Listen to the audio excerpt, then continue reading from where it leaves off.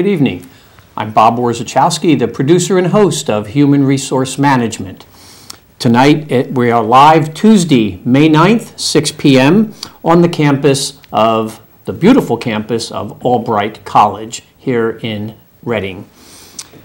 Tonight is our 75th program, our 12th year on the air, and the introductions I have for you tonight, we have two very special guests.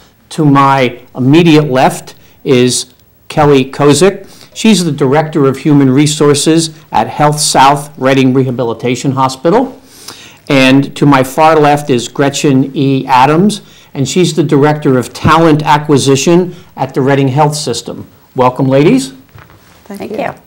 Uh, I'd like to thank our underwriter at the top of the program here and also at the end, uh, Mosteller and Associates.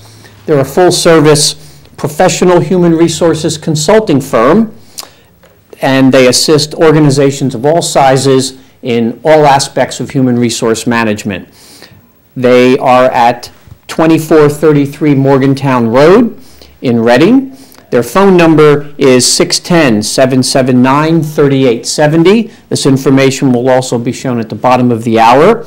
And you can reach them at mostellerhr.com for information and talk to Chet and his fine folks out there if you have any kind of HR needs. We thank him for his support.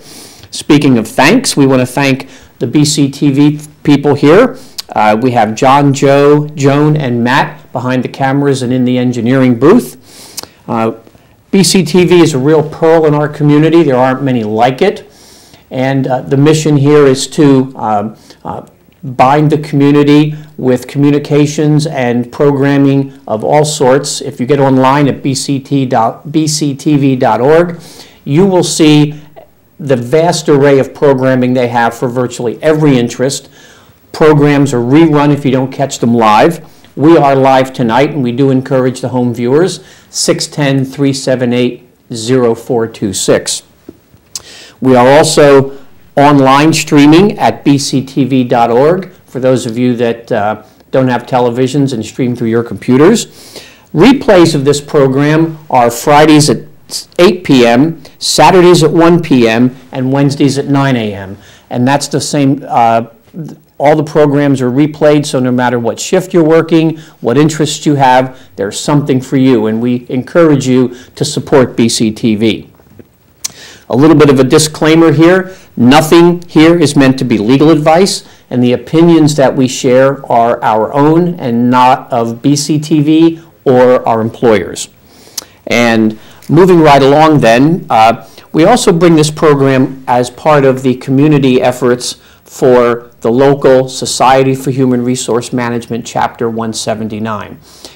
We've been around for 44 years now, and I think some of us have been involved in it for just about that long. But um, it's a professional organization. It's part of, we have about 196 members, I believe, and we meet monthly on the second Tuesday of every month for a breakfast meeting. If you are interested in joining us, seeing what it's about, you don't need to have HR in your title.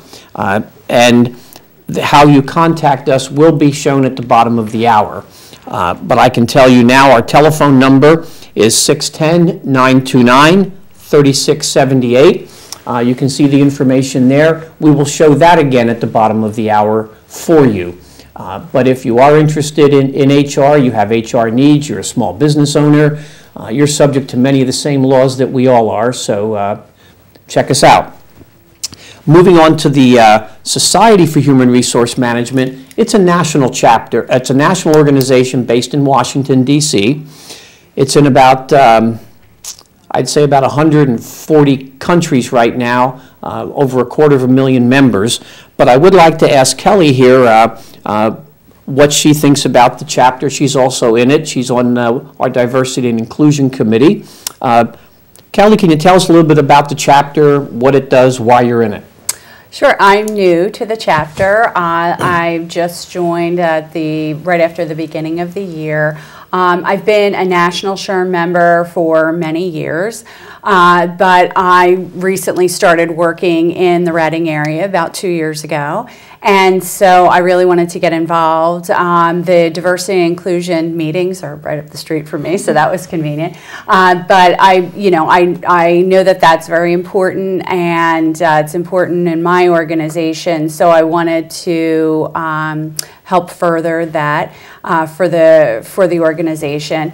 Um, we have a lot of great uh, programs with uh, the diversity inclusion, also with certification and. Um, uh, training for the certification, and we have a lot of great speakers. Today we had um, uh, Jonathan Segal, who was uh, who kind of a famous employment attorney, uh, come there today to talk about some things that are in the news and some legislation that's happening and that kind of thing. So um, it's a really a benefit for us and for our organizations when we take that information back. Great. And uh, I can add that we don't, uh, um, we don't really uh, keep a very narrow membership group. Uh, we have attorneys, we have small business owners, uh, we have uh, people in as members who service the HR profession in the area, uh, search firms, the temporary help agencies. So we, we do like to give back to the community as well as provide real value to our members in terms of professional development. Give us a call. Um, we have our, our topics for tonight recruiting and selecting. And uh, these are two of probably the, the most important HR responsibilities among the eight or so official uh, uh, areas of our practice. And we're going to explore just uh, each of them in sequence, how they're important, why they're important, and how they are performed um, at various uh, companies based on our experience. Uh, the first rule of recruiting, though, is keep the ones you have. And I'd like to pass it off to Gretchen. Uh, how do you manage to keep the turnover down? Because it's very costly. Yeah, it is. So one of the things that we focus on is our current employees, giving them opportunities. Because one of the things when you read surveys, why do people leave an organization? Usually when you look at the top five reasons, one of those reasons is because they're leaving for other opportunities. So we have a very um, a rigorous internal recruitment program where employees, after they've been with us for six months, can post for other opportunities within the organization. And then we also have a very generous tuition reimbursement program that allows employees to take advantage of tuition reimbursement to further their education so they can gain additional skill sets, knowledge, education to qualify them for other opportunities within the organization. But we probably on an annual basis have like over 500 to 700 transfers because Good of people heavens. taking So then you have to advantage. select for people for their Right, vacancies. it's a domino effect. yeah. Yeah, so, Do you have any, do you have any statistics on the cost of turnover? Is it by position? Is it just overall? it's really by position. Uh-huh. So you have the cost of, of course, when somebody vacates a position and what it takes to fill the position, but then there's costs that really it's hard to put a value on. But as far as the, the impact to morale, as far as how other people are feeling, they're having to work harder. So mm-hmm. then you have, it could lead to increased absenteeism. And then as far as consistency, and sometimes if you have experienced people leaving, you're having people take that knowledge with them, so that institutional knowledge, so there's a loss there as well. Sure. And it's hard to really put a dollar figure on that. Now, are you, is, is this position you have, is this a relatively new position in the Reading Health System? Talent Acquisition Director? No, it's just we changed the, uh, talent acquisition is really a fancy term for recruitment. But still, that's exactly Right. Mm-hmm. what we're doing, and that's, that's, that's a message that we want to share with, with, uh, with the people out there in TV land, is, um, we don't like to, we don't like to refer to the employees as human assets, but that is exactly what they Right. are. And it's a tremendous investment, just like you invest in, in your inventory and your plant and equipment, uh, your IT infrastructure, you're investing in Right. people. And uh, um, that's, that's a tremendously powerful tool to get and keep business. Mm-hmm. Uh, So, it- and it fulfills the organization's mission only if you have a trained, motivated, engaged workforce. Mm-hmm. Yeah, Um, and you're absolutely right. I mean, with the cost, um, a lot of times with uh, turnover, you can't get. Um, the business side of the company to understand, oh, well, why do we have to do these engagement type things for employees? But uh, it is estimated that it's one and a half times uh, their annual salary is how much turnover costs uh, can go up to. And as Gretchen mentioned, there's vacancy costs, so you have to pay overtime for those who are, uh, you know, covering for that person by the time you hire somebody, there's a, you know, ramp up costs for that. So if you're in hospital like we are, and even if you're not, you may have to hire contract labor, which is, you know, Very uh, expensive. very expensive. So, and then, um, you know, if people are unhappy, they're probably lowering their production and, uh, you know, maybe they're making mistakes. Uh, God forbid. Absenteeism. Yeah, God Right. forbid they're making a mistake with a patient or that kind of thing. So to keep people engaged is really a huge part of the of the organization, and it has a huge financial cost. So it's very important. Well, uh, and as far as that, I mean, your, both of your current uh, employers are very well known. One, one could go so far as to say they are employers of choice. Mm-hmm. How do you maintain the brand? As, well, as far as, you know, as, you mean in relation to how we're telling the story? Yeah, because, because there are some employers in the area that, uh, to be honest about it, they don't have the best reputation. They're known as having a lot of turnover. It's a high-pressure place to work. Um, And you see, that you can tell because you see their help wanted ads in the paper and on Indeed regularly. Right, And it's not because of growth. right. Um, And, And so people wonder what's going on there. right, uh, but So, that's well, different, I think, in your Okay, institutions. Right. So we utilize our employees to help tell the story. We have been doing a lot with social media as far as getting testimonials from our employees to talk about their employment experience because mm. we know that's what candidates want to hear. They want to hear it from people who are working there, living there every day, and understand what it's like to work there. So we really utilize our current employees to really tell that message. We've been doing a lot recently with, with billboard advertising and with our career Facebook pages. We've been actually doing video testimonials. Some, some people, we get written testimonials, we take a picture and then we post that on Facebook. So, um, and then we've been also using Glassdoor, so people put reviews out there. We know that um, candidates are going there. We can see, we've seen an increase in the number of views of a page, on our page on a monthly basis. I mean, we have up to like 7,000 views a month on Glassdoor. So when people are posting reviews out there, we're responding to all those re- reviews because we want candidates to really get a balanced view of the organization. So here they're hearing, um, it- they're getting information from current or previous employer- employees that have posted uh, reviews out there, but then we're responding to those reviews so they can hear the other side of the story and have a, and make an informed decision as to whether or not they want to seek us out as an employer. And then they apply directly through that. Kelly, how about uh, the employer brand, employer of choice? It, it- it's the kind of thing that you have to work very hard at just to Absolutely. maintain. Yeah, so um, my uh, organization's a little bit different because we're national, so we own 122 hospitals throughout the country. So we do have um, people from corporate doing sort of the macro, but then, uh, you know, all of the advertising um, throughout the country and that type of thing. And, uh, you know, hosting um, events for different healthcare organizations um, throughout the country as well.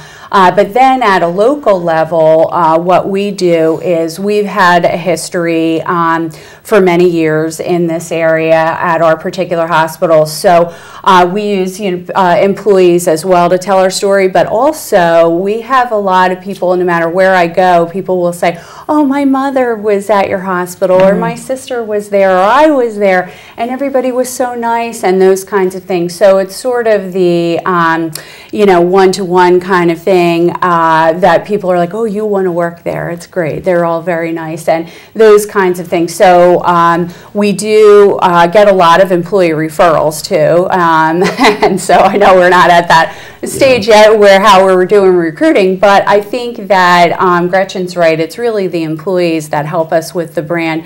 You know, you can do a whole lot of advertising and things like that, but when you treat your employees well and uh, even your customers can see that whether they're patients or you know a retail customer or that type of thing i think you get that um, word of mouth Well, we're, we're going to get to our next topic here in a moment, and it's something that Gretchen mentioned uh, about some of the social media. But I wanted to remind everyone out there we are live tonight, 610 378 0426. If you're a home viewer and you have a question, comment, or a gentle complaint, pick up the phone and dial, and we'll uh, address it for you. Uh, Gretchen, you had mentioned about Glassdoor. Uh, My guess is there are some people out there looking for a job and they're reading the newspaper, the help wanted ads. Maybe they're getting on Indeed.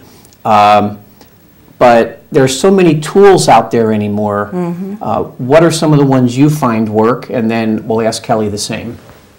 as far as for sourcing candidates. Right. So we find that LinkedIn and Indeed.com are like our two top sources, and um, as well as our employee referral program. So we recently did a relaunch of our employee referral program, and we actively advertise that program every month in some different venue because to get people's attentions and keep it on the forefront of employees' minds. And we have really filled a lot, like within nine months' time, we had filled over 70 RN positions through our employee referral program. So again, that's really positive. We know that employees are going to refer people who they think are going to be successful in the organization because it's their reputation. And the fact that they're willing to refer someone shows that they feel that we're a good employer. So it, it's a positive thing. But um, that's, those are our three top sources for, for identifying candidates. And then also, something else that we have been finding is we have found, especially within the last year, because as the candidate pool shrinks, we have to engage in more and more activities, going out to where candidates are or holding activities to get candidates to come to us, something that's going to attract them, um, that would bring them in. Maybe it's an event with a CE speaker or, or something, a social event that we know that they would like to engage in. And um, that's how we can get in front of the, the candidates and talk to them. And going, uh, we've really ramped up our on-campus recruitment as well. So it's really getting out of the office. So we're not at our desks as much anymore because we have to be out there and trying to actively source because the candidate pool is just shrinking. Well, I know that, uh, I- and I- it seems like there's been a flurry the last two months of job fairs. And I know the community college just had one. Uh, There's one at the Crowne Plaza on May 31st, which is focusing on veterans and their families. Uh, Deployed people have, you know, their dependents still here. Uh, And uh, I don't know if you're taking advantage of that or not, but uh, uh, the, uh, Kelly, with the uh, uh, tools that you have out there, what do you find works and uh, what is Glassdoor? Okay, um, well, I'll answer the Glassdoor second. Uh, so, what we found worked, I agree um, with Gretchen about LinkedIn and Indeed. I have found that LinkedIn doesn't work as well for RNs, um, sometimes some specialty RNs, um, but uh, regular staff RNs, it hasn't worked as well for me. Um, however, I've used it for all different types of positions and it works really well. We actually integrate that with our uh, referral tool. So, our referral tool is online. Um, it's by a company called RolePoint. And uh, so, there, the employees are able to click on there and um, send it to LinkedIn, and it will actually go into their LinkedIn account and find people who are qualified for the position because the job description's there through a keyword search, and they can actually refer it to all of those people that they're connected to. And if any one of them uh, applies, they get credit for it uh, because it's through a particular link. And they have a similar uh, thing with Facebook. They could do that. They can tweet it out as well and or they can just put in a person's name and say, you know, Joe Smith is my friend, and here's his email. So, um, so we do use LinkedIn. Indeed, we also use Facebook. There's a lot of Facebook campaigns. Um, that uh, rather than just the uh, blasting it out to everyone, there's certain technology that you can use to make sure that it goes to people who are RNs, or if they're, you know, you're looking for a welder, it's somebody who is a welder, those kinds of things.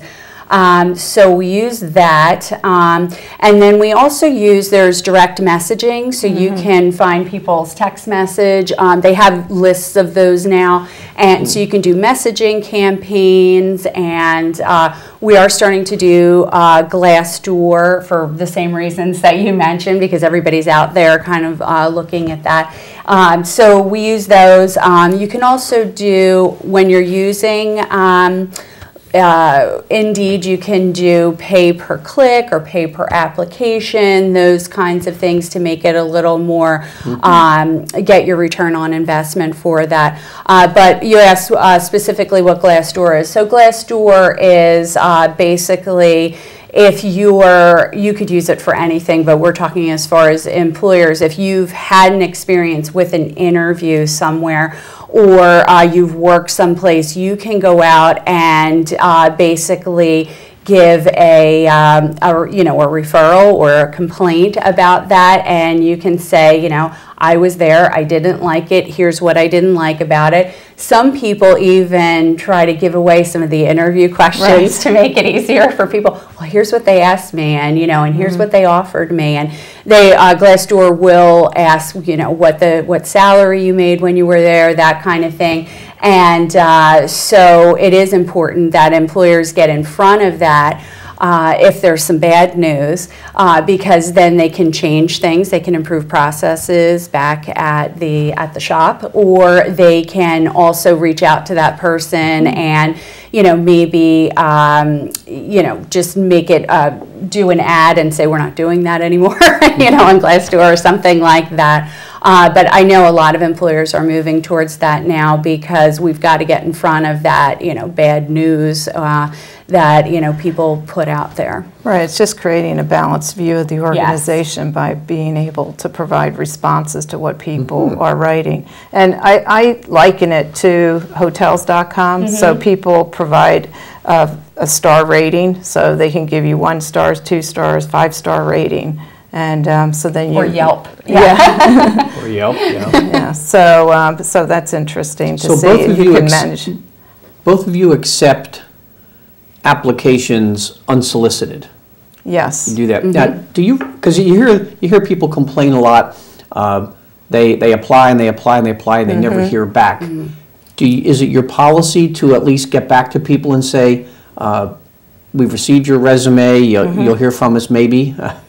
We have an automatic email that comes out, and I think most people who have an mm-hmm. applicant tracking system, it will say, you know, we will review your resume. If it's reviewed and we feel that you've met the qualifications for the position, someone will be in touch. Now, these are people that apply just, they don't maybe have a position in mind that they're applying for. Right, right. They just, um, yeah. So sometimes we get those people. Sometimes those people do get lost in a shuffle. So if someone just goes out to the website and they just put in some information, um, they uh, may not be looked at as quickly if, say, I'm focused on I'm hiring, uh, you know, a manager, and it's a, you know, it's a very hot position, so to speak, and then I have people. So I'm focused on people that are you know, applying directly to that position, and I'm weighing them, uh, their qualifications against the job description, and then someone else just applies randomly, but doesn't say what they're interested in. They may just say, "Oh, I'm interested in something. I'm not sure. Somebody contact me."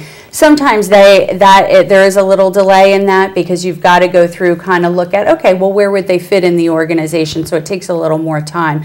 It's better if someone applies directly to a specific position, even if you don't have time to put in all of your information. Just put in a little bit so that we can get in touch with you. We know what some of your interests are. Well, one of the reasons I'm, I'm, I'm concerned about this is there, there are some legal definitions of what is an applicant for those of us that have tracking systems uh, or government reporting requirements. But um, I, I, I heard recently about some research that, that uh, uh, a social scientist in Philadelphia had done And it was a little bit disturbing coming from HR and being in the in the DNI committee, Diversity and Inclusion Committee uh, for the chapter. But uh, he did, he, he had uh, his students or researchers send resumes with what you might characterize as non-traditional names and surnames. And to see the response rates from the places they applied. And uh, then they sent r- the same resume uh, later to the same companies with more traditional Joe Brown names. And the response rate was double. And that's kind of disturbing coming from HR because diversity and inclusion is just good HR. It's good business. Absolutely. You want you don't want to a priori deselect people. And I think part of and we'll get into selection in a bit here, but I think part of um, one of the flaws in a lot of American employers is they more set up deselection mechanisms and selection mechanisms. Part of that's government requirements, laws, and whatever that you have to have. But um, I want to move on to a few challenges that you face. What keeps you up at night, Gretchen? Um, I think um, for, for me is making sure that we have enough applicants to fill the positions in a timely manner. It just, when I think about um, the, the patients that we're seeing, we have seen an increased volume of patients, and we know that we need to, and we have open RN positions. It's like, we feel that we want to get these positions filled as, as fast as possible with um, highly qualified candidates to ensure that we can pro- provide the best care to our patients. And um, you know, when we have a lot of openings and there's uh, new units that we want to open up or expand, but we have to delay that because we don't have enough candidates, that's concerning because that has a negative impact on the business as well as our, our ability to service the um, people within our community. Okay. Kelly, what keeps you awake at night? Well, we both work in healthcare, so that does. I mean, the um, the shortage basically of RNs and uh, you know to fill the positions because uh, we may not take uh, patients if we don't have enough RNs to care for uh, the patients, and uh, and then also just the skill level as well uh, in other positions. So we have aides. Um, and there's not a lot of qualifications for aides, but we typically, um, as like a minimum standard, but we like to see people who have a certification. You don't necessarily require a certification in a rehab hospital, uh, but there are people who um, just, you know, we get a lot of applicants. So, say we have a rehab nursing technician, that's what we call our nursing aides. Uh, we may have 200 people apply, but I've got to go through a bunch of people that are not anywhere near qualified. And, uh, you know, these are people that we have to trust to take care of our patients, to take care of somebody who might be your mom or dad or your, your, your uh, daughter, that type of thing. So um, when we have people that apply for positions that they obviously aren't um, qualified for, it kind of um, it, it mucks up the system, does keep, uh, make delays and things. So that's why we do use a lot of technology you had mentioned about, you know, with the deselection. So, and that also helps with the diversity because we use these technologies so that right away we could do a match right away, just get down to a certain amount of people who match basically in keywords or experience or education, and then we can go with that group first without having to go through a lot. Uh, I'd like to talk about metrics. How do you, how do you measure, or how does your boss measure effectiveness? There's a couple things that we look at, time to fill. Um, We'll also look at turnover. So what is our voluntary versus our involuntary turnover? Um, We'll look at, um, of course, engagement uh, scores within the organization.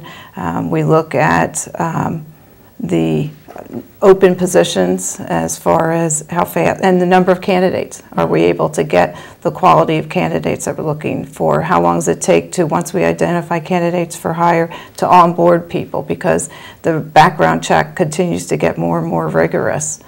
So, um, you know, so Well, it's really guess- looking at yeah. turnover, time to fill, and the quality of candidates, because I think turnover um, is a reflection of, of your decision-making process as far as like how effective you are at sourcing candidates, as well as onboarding them, orientating them to help them be successful within the workplace. Well, when I worked for the, an engineering company, uh, uh, we were very concerned with an offer rejection ratio.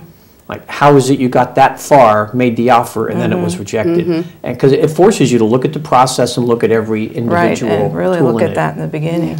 So Kelly, what uh, metrics do you have? Well, uh, again, I'm agreeing with Gretchen on all of those time to fill and turnover and those types of things. Um, and then uh, also, you know, offer rejected. Why did that happen? And that type of thing. And you have to sort of reverse engineer it. But also um, the quality of hire. So whether you're working in a hospital or a production facility, a call center, those types of things. Um, you are going to have a certain uh, amount of competencies that people are evaluated on. So uh, I know for nurses, we do 30, 60, 90 day, and then annual uh, competency evaluations. Some are required by the state. I worked for a production facility, so they had um, you know production levels that they were supposed to meet on certain time frames, and so the quality of hire includes all of that, all of those metrics um, that we'd previously discussed, but also the quality of hire. And then, uh, you know, if the person isn't living up to that, w- you know, w- did we hire the right person? Can we sort of look back or reverse engineer it and find out what we did wrong and how we would go in a different direction later?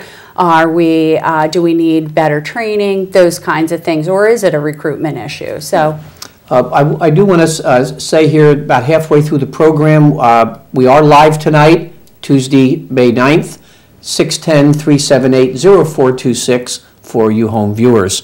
Uh, Kelly, sticking with you for a moment, the, uh, uh, there, I'm sure that certain employers have uh, aspects of the process that are turnoffs for the applicants.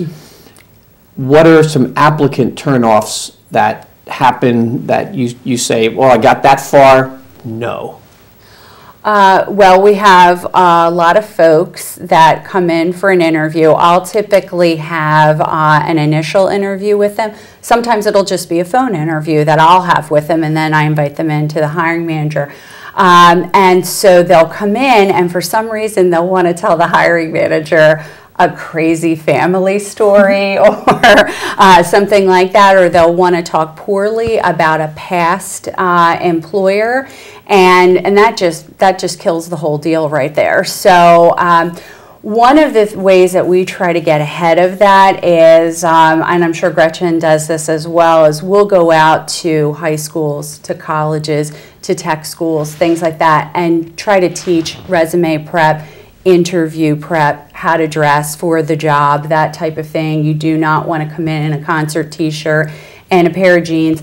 Even if you're going for a warehouse job, you know, people are going to remember you. They're going to be talking about, I was just telling the story recently about um, you know, we wear scrubs. The, the nurses wear scrubs, so no one's expecting a nurse to come in in a suit. But I can tell you, no matter how well that person interviewed, all the hiring managers like, oh, that was the one in the suit. So you know, wear a jacket. If you can't afford a suit, go to Goodwill. You can find some, you know, pieces, and uh, you know, dress well. Don't talk poorly about people because then I've spent a lot of time. I'm talking you up to the hiring manager, and then you come in and you're telling them some crazy story about your kids or mm-hmm. something. So that's that's a turnoff for me. And and Gretchen, with all your experience, not just at, with the Reading Health System, but in your other experiences, what are some applicant turnoffs for you?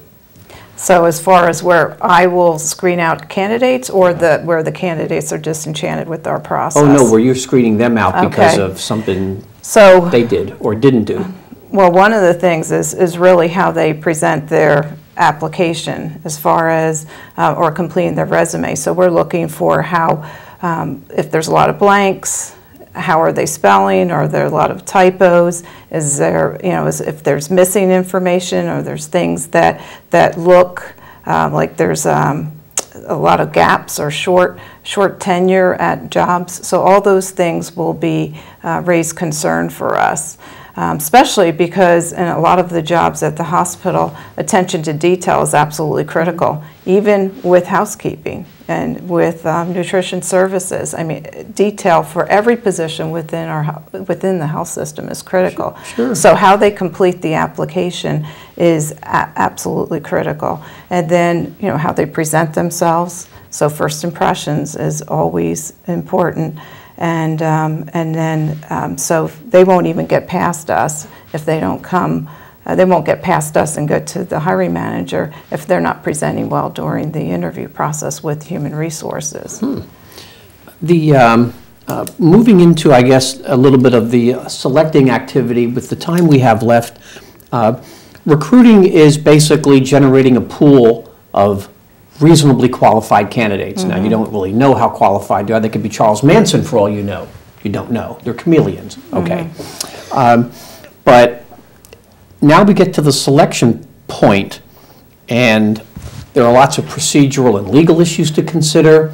Um, And what are some of the selection tools and techniques that you use? Okay, so um, I've worked for a number of organizations that have used assessments. So um, there could be an assessment where you have to take some sort of test, uh, whether it's a math test or it could be a personality type test. I worked for a call center at one point, and uh, we were talking to sick patients on the call. So they were measuring empathy, but you can't have too much empathy because there's an average handle time. So you can't be on the phone with somebody for a really long time. So that would be like a red, yellow, or green light. And then, so yellows and greens, we would move to another stage of the interview. There might be, uh, you know, a role playing type of thing. Um, and uh, with a call center employee, uh, we have similar things with nurses where we have uh, questions and um, then there's follow up, uh, an assessment, and then there might be some follow up questions from there, or they could just do very poorly on that and they're they're not moved further. Um, and then, of course, we do interviewing, and the type of interviewing that I've almost always done is behavioral interviewing, where uh, you're basing it on the competencies of the job description. And so you're asking about the past practice that they've done because the past practice is a best predictor of future success. So you're asking them about a situation or a task, what action they took, and the result of that. And uh, that gives you a, a really better idea. And they get to tell their story of um, what they've done in the past. So those are some of the selection tools and, and types of things that I've used. So in addition to that, because we do all that as well, um, we also have peers sit in on interviews. So they'll have an interview with the hiring manager, and then they'll have um, interviews with the peers. This is sequential, though, That's a not good as a idea. gang. So, so, right, so after they have the hiring manager interview, then they'll, they'll sit in with a group of peers and be interviewed. And we actually provide peer interview training to anyone who is going to serve as a peer interviewer. And then from there, they actually shadow. So they'll shadow on the shift that they're going to be working so that they get a feel for what is the work activity like and also the people that they'll be working with, because we know for a lot of people, it's about who they're working with. And uh, so those are some additional things that we do. How many, how many interviews, or how many times do they come back for visits? Just, it's the once and done thing, and there, there's a battery of interviews and a battery of tests, and uh, don't call us, we'll call you, or how does it work? Well, it really depends on the position. Um, so um, I mentioned with the call center I worked in, we'd try to get that done all in one day. So they uh, would, you know, come in, they'd meet with a trainer, they'd do sort of like a little role playing thing, they'd meet with HR, and then they'd meet with the hiring manager. And then what would happen is they would leave, we would come to consensus on the position. And then they'd be hired. Use a scorecard, like Um, for, for, for four or five traits or four or five answers or something? You go One or two or three? Everybody's asking about the same competencies, although they may be asking the question, a different type of question to get there.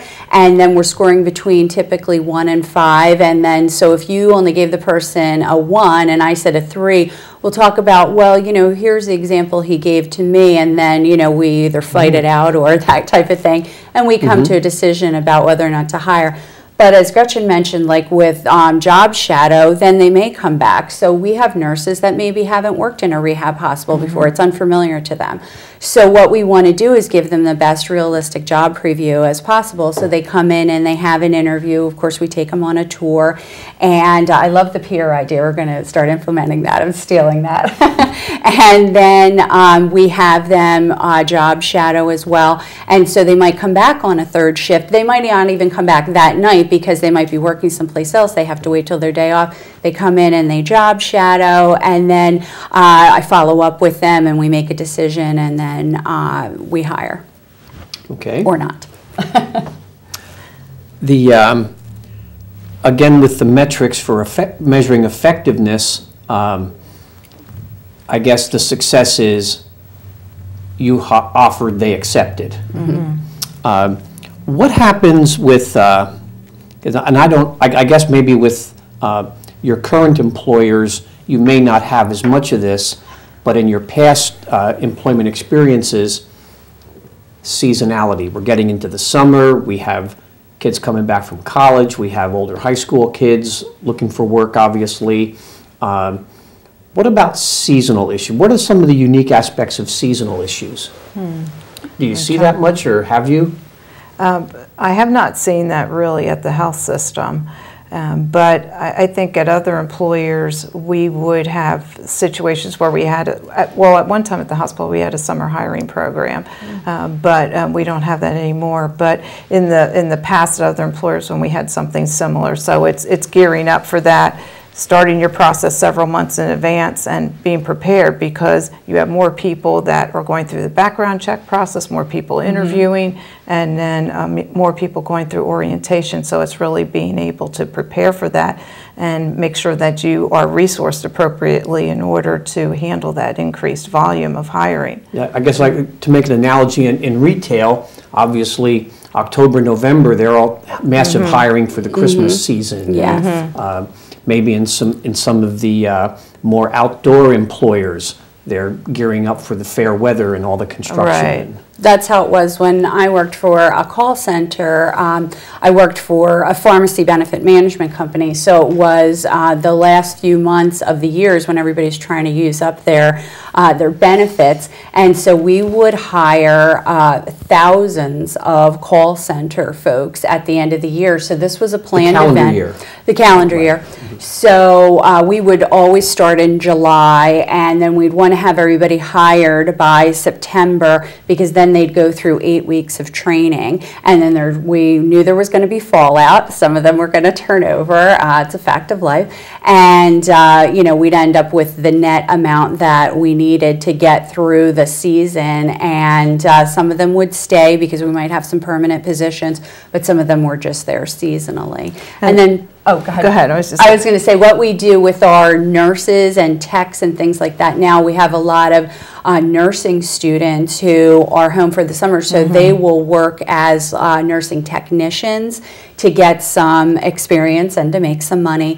Um, one of the issues with that, though, is uh, we have compliance training that may not be due in the summer, and we're trying to contact them because they're on our books as a per diem or pool employee.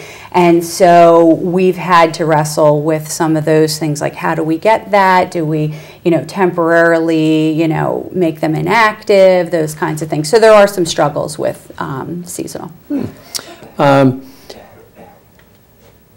Do you put a lot of stock in that there are, there are active job seekers and there are sort of part-time job seekers and ex- exploitative types, and then there are passive job seekers? If that's true, how, how do you go after the passive job seeker? How do you interest somebody who's not even interested in a job to say, "Hmm, I might want to check them out? What do you do about that? How, how, do do you even, is that even on your, on your game board? Well, I think what we're trying to do is create a buzz about Reading Health System.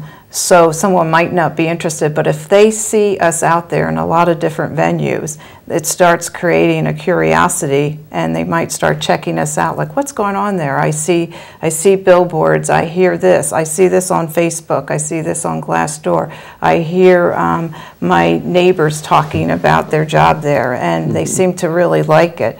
So it's creating the buzz and trying to get the story out there in a lot of different ways so that we will spark interest. But we also utilize search firms at times for mm-hmm. hard to fill positions to be calling into other employers to talk to them about potential opportunities. So we still rely on That that. door will swing both ways, though, because when they place them with you, they're gonna call them back in a year, hey, you're still happy there, you know? Right. We don't do that as much, but we have done that. And then um, also, there's times where we've had different times, different places I worked where we have someone who is just serving as a sourcer. So they're going into candidate databases, resume databases, and they're calling candidates to talk to them about opportunities that we have, or sending in-mails through LinkedIn. So that's a big thing, to hmm. send in-mails out to people who match that keyword search to let them know about opportunities. We have over 100,000 applicants in our applicant tracking system. So we'll send out emails to them, to candidates that applied several years ago, because maybe they stopped applying because they didn't get hired. Well, let's talk to them about the opportunities. Or maybe when we looked at them, they didn't have enough experience, but now they have the experience that we're looking for. So we're reaching out to them, and that's been very successful Do as you well. both use, uh, I don't, I don't, in the industry, I don't know the exact term, but temporary employment agencies? Yes. Yes. You you both use them? Yes. Um, And uh, I don't know if they're, technically, they're not search firms. Technically, these are, Attempt to hire, yeah, those kind of Types of things, things, right? So yes. you, you and you. we have done that. You, you use them? Yes. Okay. Um, One of the things we want to get on to in the, in the 10 minutes we have left here, um, background checks, screenings, reference checking, all the things that either you, sh- you do as routine, whether you had to or not, some of the things you do because you have to by, the- by law, but what do you find is most valuable, most productive, best use of time and resources? Because no matter how well they interview, no matter how impressive their resume, they could still be Charles Manson. How do you know? We're on a Charles Manson theme. Um, well, uh, obviously, we're both in healthcare, so we have to do an enormous amount of uh, background checking, um, federal background checking. Um, we have to do fingerprints. We have to do, if you have any uh, children or adolescents, you have to do a child abuse background and uh, just you know the regular state background, that type of thing. Uh, we also do references. Um, our references, I really like the system that we have. It's an online system through Skill Survey. And uh, they have to actually put in five references. We don't, our policy doesn't require five, but they have to put in five. It emails to Prior supervisors? two of their- them have to be their neighbor? well, two of them have to have been categorized as manager. Now, that could be a teacher. It could have been if they babysat, like say it's a younger person and they babysat, it could be the parents of the children, or it could truly be a manager or supervisor. Two of them have to be that. Others, we prefer professional. Uh, for the other three, like coworkers, that type of thing. Uh, but they could put in all managers if they'd like. Um, one of the things with that is there's an option on there for the person who's giving the reference. Uh, it asks them, "Would you like to be contacted about jobs?" So, do you use the same system? No, And- we're, we're going to be going to a similar system. Oh, so you know, if they're interested, there and they'll and it's anonymous too, so the candidate can't see that. Uh, and so, I a lot of times we have actually found that someone has given a bad reference, and they're like, "No, you really don't want this person," and it does ask them for strengths and weaknesses and things like that. So, So it's free-form writing then? Yes, Because and in well, there's some main questions, but then there's some Right. free form writing as well, and uh, and plus it's got the added recruitment thing in there. So So two questions, then. Do you get them, do you get the applicants to sign a release? Yes, And we have to. Pennsylvania has an employer reference immunity law.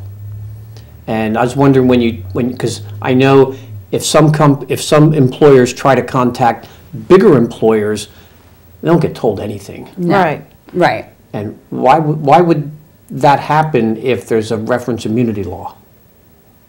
Well, uh, I think that employers are still concerned about not what HR would say, but what the random manager would say. The random manager might say, oh, he was a drunk.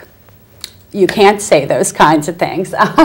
you know, or, you know, they might not say uh, the appropriate legal thing Right. that we need to be Concern saying. for defamation of character. Yeah, It happened and we don't do that at, at my organization. We use something called the work number. Do you guys use that? Um, it's, it's called the work number. It's online and there actually is a work number where, uh, we report from our HRIS system, someone's, uh, you know, when they worked and what their salary was and whether they're eligible for rehire. So a, a new employer can call there, and they can also use it to get a mortgage and things like that if they need those, you know, types of um, uh, verifications of employment. They can call or go online, and it will say, yes, they did work here from this date to this date, and here's how much they made, and yes, they are eligible for employment, or no, they're not. And if it says no, they're not, most employers will say, well, we did, uh, you know, we looked at this, and it said you're not eligible, so let's have a discussion about that. Eligible for rehire, For rehire, Right, yes, right. yeah. okay? Um, So just to add to that, though, mm-hmm. I think, I I think you asked if there's one thing that's, that's most significant. I really think it- there isn't just one thing. It's really looking at the big, the full picture of all the different data points of information that you're getting on a candidate, and then making a decision based on that. Because you have the manager interview, you have the peer interview, you have what they shared during the shadowing experience, you have the references, so you, and the assessments. So you have lots of data points, so it's looking at that and to see if you, through all Really of those data three-dimensional. points, is, is there consistency with what you see through all of them? Did the, Right. did the candidate perform in the same manner, answer the questions the same, provide consistent, consistent answers to questions asked by different people? And I would agree with you on that So that's because, how- like, with the assessments, um, sometimes people won't do so well with the assessment, Right. But they were a rock star on the rest of it. And so we look at the, you know, the entire thing. We don't just say, oh, no, one area, you're done, that Mm-hmm. Right. kind of thing. So I, I do agree. That's Well, how a we are couple of things here. uh, In, in our area, unemployment's very, very low. Mm-hmm. We know that. Um, Maybe, maybe full employment. Um, uh, One of the, in the little bit of time we have left, um, people are working longer. Uh, People who want to be semi-retired, not retired. Mm-hmm. Is your approach any different for the senior citizen? Because there's a joke made about being a, a handing out the smiley faces at, at retail stores and things, but um, is your approach any different for maybe they're the passive employers, uh, em- applicants? Is there is your approach any different because you're going to see an applicant with 30 years experience as opposed to out of college? Well, I mean, if someone's looking to um, not be full-time and maybe they're looking to gradually go into retirement, Gretchen and I were talking about this earlier, uh, we offer part-time positions and they do have uh, benefits as well. And then we offer per diem or pool positions and uh, a lot of times you'll find people who have had 30 years experience and they're, they don't want to uh, maybe work full-time, but they'd like to come back and share their expertise. And so we'll bring them in as, uh, you know, a consultant to do uh, certain projects and that kind of thing and be a subject matter expert. So it's really understanding what the candidate wants and then finding the opportunities within the system to fit their needs. Okay, well, um, ladies, this has been a, a- a very quick hour, um, and um, we are uh, back again on uh, July 11th, uh, second Tuesday in July. Uh, Our topics are going to be uh, various forms of compensation, wages, and salaries. In the time we have left, I would like to uh, certainly thank uh, our guests, uh, Kelly Kozik, the Director of Human Resources at Health South Reading Rehab Hospital. Thank you, Kelly. Thank you for having me. And uh, Gretchen Adams, and uh, she's the Director of Talent Acquisition at Reading Health System, and I think a, a, a new recruit to the chapter. Uh, We'll hope for that. Uh, Certainly want to thank our underwriter, Chet Mosteller, and the folks out there at Mosteller and Associates, the full-service human resources professional consulting firm. And they're out there on Morgantown Road, 2433 Morgantown Road. And you can see their telephone number there, 610-779-3870. We certainly want to thank the BCTV folks here. Uh, Most of them are volunteers. They deserve your support. John, Joe, Joan, and Matt. Uh, Thank you very much for your expertise tonight. And certainly uh, the Society for Human Resource Management, and specifically Berks County Chapter 179, uh, and uh, under whose aegis this is brought to you. And certainly, if you do have an interest in HR as a profession, uh, you're vexed by some of the things that happen, or um, you have HR responsibilities in a small company, uh, you can call us. There's the information on how to reach us. And uh, again, we are uh, replayed, uh, but not live, Fridays at 8, Saturdays at 1 p.m., and Wednesdays at 9 a.m. That's it. And for uh, until July 11th, good night.